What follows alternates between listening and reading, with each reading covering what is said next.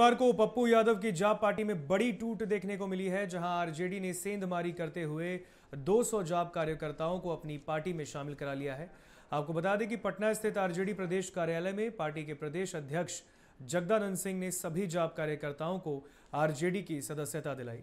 इस दौरान जगदानंद सिंह ने नीतीश सरकार पर हमला बोलते हुए आरजेडी को मज़बूत पार्टी करार दिया है। इस दौरान मौके पर आरजेडी के राष्ट्रीय महासचिव श्याम रजक सहित पार्टी के कई नेता और कार्यकर्ता मौजूद रहे।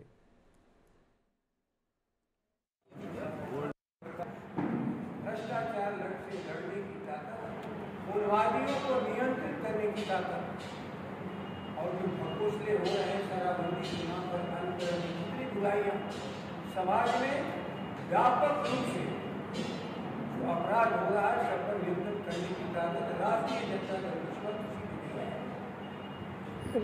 जो हमारे भटके हुए साथी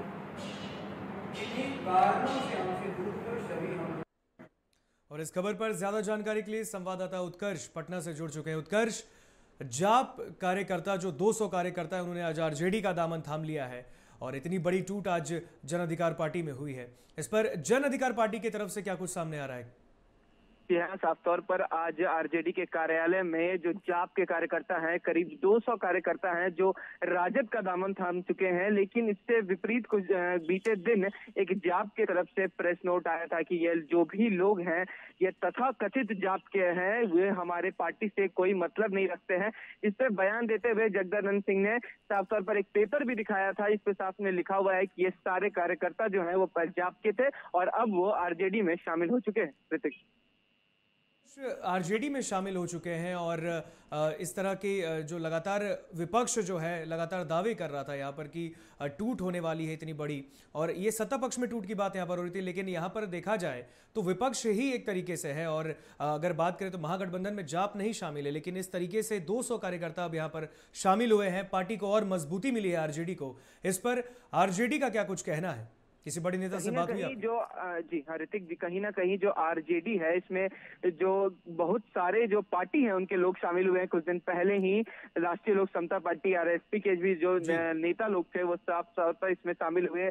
आज जाप के कार्यकर्ता शामिल हुए। हालाँकि जो पार्टी के जो नेता थे वो शामिल नहीं हुए, चाहे वो पप्पू यादव हो, चाहे उपेंद्र कुशवाहा हो, लेकिन उनके जितने भी कार्यकर्ता है, वो सारे लोग आरजेडी में शामिल हो चुके हैं। कहीं ना कहीं आरजेडी जो पार्टी है, वो ज़्यादा मज़बूत हो गई है बिहार में। हालाँकि पहले नंबर की पार्टी तो वो पहले से बन चुकी है इस बार इलेक्शन में, ऋतिक। जी, तमाम जानकारी के लिए बहुत बहुत शुक्रिया आपका, उत्कर्ष। तो पटना में आज राजनीति हलचल देखने को मिली है बहुत बड़ी आज 200 कार्यकर्ता जो कि जन अधिकार पार्टी के थे, वो आज राष्ट्रीय जनता दल में शामिल हो गए हैं। प्रदेश अध्यक्ष जगदानंद सिंह ने उन्हें पार्टी की सदस्यता दिलाई है और इस दौरान जगदानंद सिंह ने कहा है कि आरजेडी में 200 कार्यकर्ताओं के और आने से पार्टी और भी मज़बूत हो गई है।